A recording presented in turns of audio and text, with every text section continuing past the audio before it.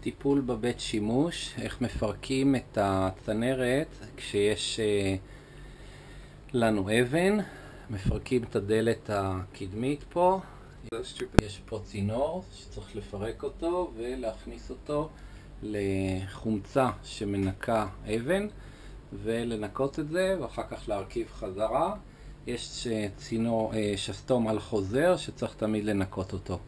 מומלץ להכניס אה, חומץ כל כמה חודשים אה, ולהשאיר אותו לילה כך שלא יצטבר חומר.